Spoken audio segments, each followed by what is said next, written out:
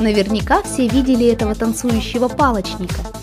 Но знаете ли вы, для чего палочники танцуют? Если вы сейчас подумали, что они делают это для маскировки, то вы не совсем правы. Да, движения палочника действительно очень похожи на качающийся на ветру листок или веточку.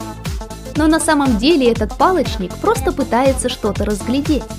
Дело в том, что зрение этих необычных насекомых устроено таким образом, что неподвижные предметы для них сливаются с фоном. Палочники их просто не видят. И лишь начиная двигаться, палочник имеет возможность разглядеть объект на переднем плане и отличить его от фона. Представляете, если бы у людей было такое зрение?